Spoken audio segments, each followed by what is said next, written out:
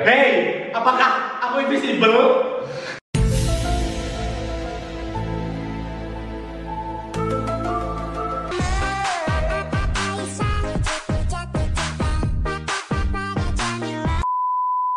Minasan, konnichiwa.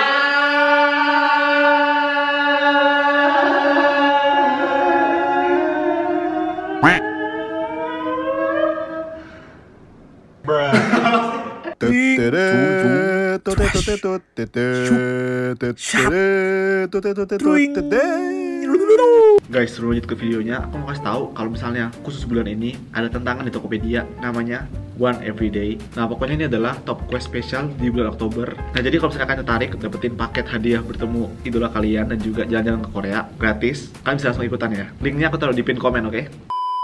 Oke guys, jadi hari ini kita mau ngobrolin sesuatu nih yang berhubungan dengan curhat-curhatan. Curhat hati, tapi bukan tentang cewek, karena kamu dulunya. Iya. Tapi kita mau ngomongin tentang kuliah di luar negeri. Jadi culture shocknya. Jadi kita lebih ngomongin ke culture shocknya. Jadi lewat dari Amerika atau dari Jepang. Pertama sih paling shock itu harga. Harganya, iya iya sih. Bener banget sih itu gile gile gile. Tapi kalau di Amerika itu dari TK, dari PG sampai SMA tuh gratis. Oh iya. Gratis, cuman kuliah doang bayar. Makanya mahalnya mahal banget nggak masuk akal lagi mahalnya. Sampai MM-an. Per tahun berapa ya? Per tahun mungkin berapa ratus? Kalau aku waseda satu juta tujuh ratus ribu yen per tahun satu tahun. Berapa? Kalau dikali satu saja Hmm. seratus tujuh puluh juta. Tapi kan kursnya 130 jadi sekitar 220 jutaan. Sedangkan kakak aku nih, karena aku kan dulu di TB, itu berapa ya sampai lulus? Iya nggak nggak nggak nggak. Bahkan sampai harga segitu gitu kan. Sampai lulus 4 tahun. Jadi satu tahun di Jepang tuh bisa beli bahkan bisa beli mobil.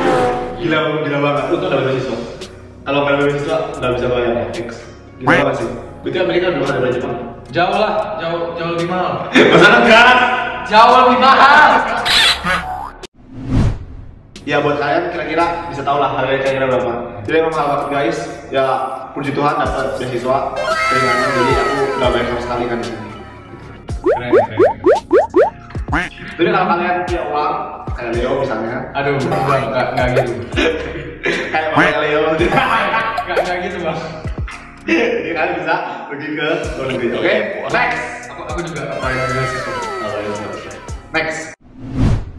Oke guys, ini satu hal yang aku paling sering keluhkan di mana-mana, yaitu adalah pertemanannya.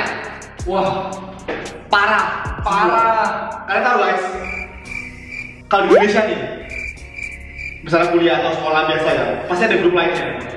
Ini nggak ada guys, grup lain tuh nggak ada. Kayak angkatan tuh nggak ada namanya angkatan gitu. Sukses sukses bareng, itu nggak ada namanya sukses bareng. Kayak bahkan nggak ada Gak ada mos bener. Ada nggak? Orientation ya cuma dikenalin doang. orientation itu cuma pengenalan sekolah. Hmm. dan itu kan datang ke kampus gurunya ngomong guru jelasin ya di kampusnya ada gini gini udah nggak ada komunikasi antara temen. Oh. jadi bener-bener nggak kenal.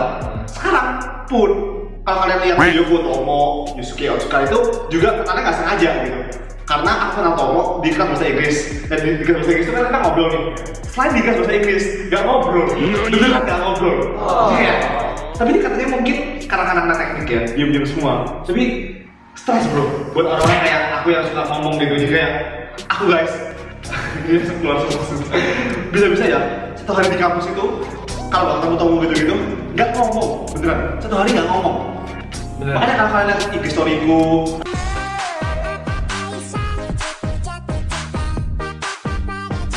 atau Twitter rame gitu itu karena nggak ngomong di kampus jadi aku ngomongnya lewat IG story Twitter gitu gitu sih Kalau kalau di US tuh bang, kita tuh kenalan, cuman di kelas gara-gara misalnya ada grup gitu. iya iya. Habis itu udah keluar kelas tuh udah nggak kenal. Iya, bener. Di grup, aku bingung itu kayak gini. Oke, kenalan ya. Di grup Inggris aku juga kan ada grup bahasa Inggris kenalan.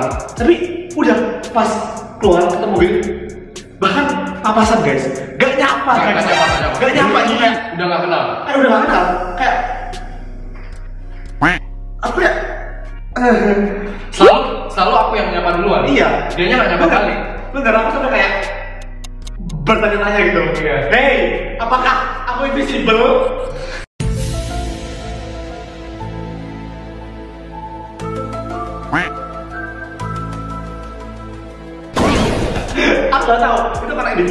Karena malu atau gimana? Maksudnya nggak nggak masuk akal gitu loh.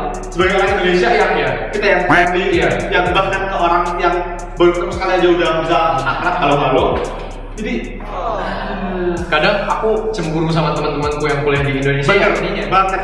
Sosialnya itu dapat banget. Sosialnya dapat banget. Bener. Kayak- ada lomba Ah. angkatan. Keluar kampus makan bareng.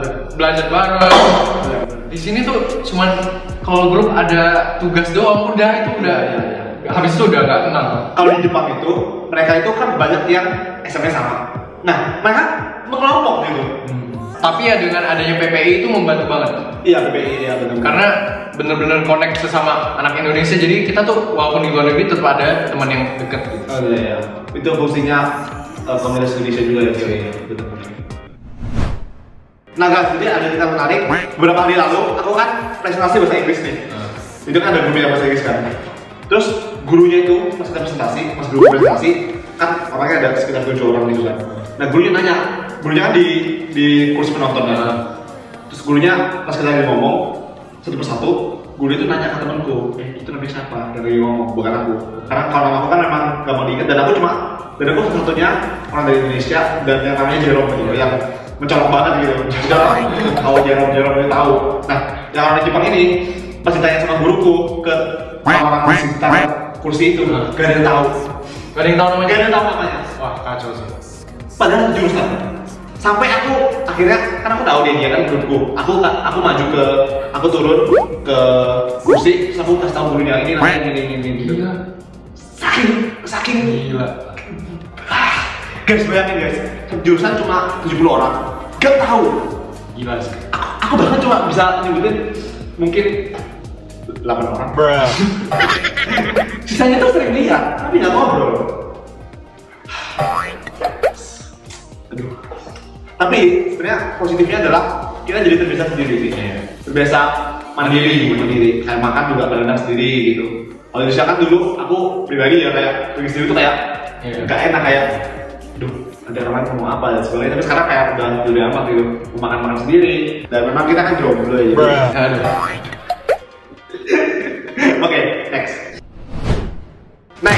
yang bikin aku kaget di Jepang itu adalah gurunya pasti masuk.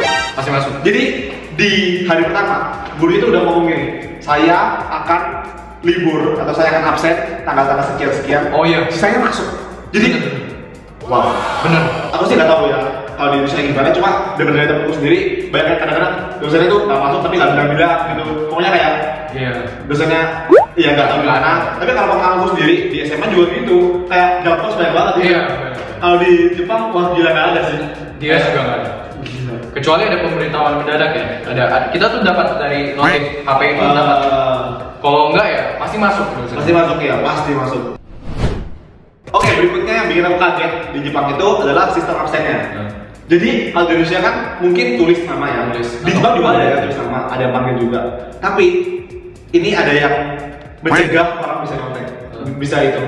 Dibagiin barcode barcode setiap orang beda-beda gila niat banget Iya, jadi ada barcode gitu, terus dibagiin sama gurunya satu-satu. Jadi kita dan sekali barcode terpakai udah bahasa orang lain. oh Jadi, jadi gila sih. Kayak itu gak bisa jadi absen gitu. itu sama kayak fingerprint Sama kayak fingerprint barcode gitu. Keren sih. Kalau di Amerika gimana? kalau di Amerika tuh ini tergantung guru-gurunya ya tapi ada yang absennya online yang ceknya online gitu ada yang masih manual sebut nama ada yang nggak absen sama sekali Hmm, karena di US tuh pemikirannya tuh gini kita datang atau enggak itu Iya terserah kita. Iya. Kan kalian yang butuh Benar. ilmu gitu. Nah guys, aku nggak tahu ya di Indonesia gimana, tapi di kampusku di US itu setiap kelas itu ada komputer. Setiap kelas ada komputer Setiap kelas. dan nggak cuma komputer tuh, ada ada mesin gitu kayak mesin fotokopi. Jadi kita bisa taruh kertas dan kan ada proyek proyektor nih. Jadi kita taruh kertas itu langsung live gitu ke proyektornya. Jadi misalnya ada MTK nih, eh, matematika. Misalnya enaknya kelas matematika di US tuh gini. Jadi dosennya nggak perlu tulis di papan. Misalnya dia kertas, dia langsung kerjain. Ini kan ada kamera langsung sorot ke proyektornya. Jadi dinilai. Oh, proyektornya di di di meja masing-masing gitu, di komputer. Enggak di, di depan doang. Oh, di depan doang. Di depan doang, tapi ada satu mesin yang Nah, yang ada kamera langsung live di proyektor gitu. Paham, paham, paham. Gitu sih. Itu enak juga sih, benar-benar. Dan setiap murid, setiap guru, setiap dosen itu ada accountnya masing-masing. Oh iya. Jadi jadi murid nih bisa login juga gitu. Kalau misalnya kelas nggak dipakai, ya bisa dipakai. Itu dipakai gitu. Bisa dipakai. Fasilitas ya, itu fasilitasnya emang bagus sih. Gila-gila sih. Emang bagus sih. Iya. Oh ya satu lagi nih yang cukup mengagetkan adalah para Jepang itu kan sekolah itu dari SD sampai SMA itu mereka nggak pakai laptop. Jadi mereka baru punya laptop tuh di kampus. Oh really? Jadi guys orang-orang itu aku kaget itu mereka ngetik tuh kayak gitu, tak, tak, gitu. Serius? Iya. Udah Kayak- kuliah nih? Udah kuliah. Jadi kayak, justru mereka baru pegang laptop sendiri itu di kuliah.